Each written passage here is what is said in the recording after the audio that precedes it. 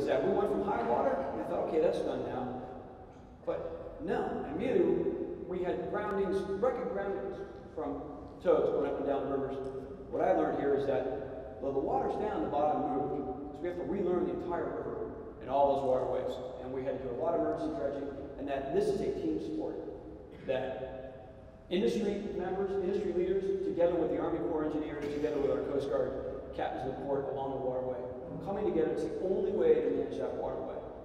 And in fact, industry provides critical input to us to help us develop good guidelines and, and rules of operation so that we can continue because it is uh, it's important to everybody that we keep traffic going.